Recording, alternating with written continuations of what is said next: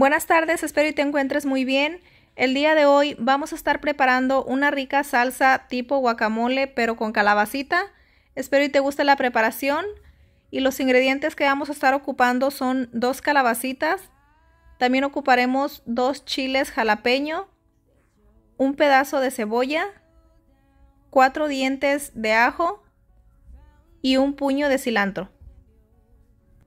En un sartén vamos a poner aceite y vamos a poner a freír la calabacita, el chile, la cebolla y el ajo y lo vamos a estar moviendo de vez en cuando hasta que la calabacita esté bien cocinada.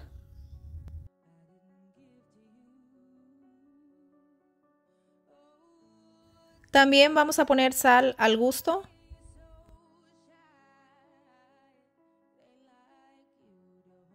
Ya cuando la calabaza está bien cocida, la vamos a retirar de la lumbre, esperamos a que se fríe un poquito y lo vamos a llevar todo esto al vaso de la licuadora.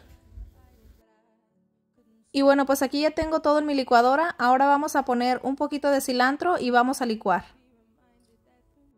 Y bueno, pues ya que lo licuamos así es como se mira. Esta salsa está buenísima para acompañar una carne asada, pollo o tacos, lo que tú gustes. Espero te haya gustado mucho la preparación, gracias por estar aquí y nos vemos en otro próximo video.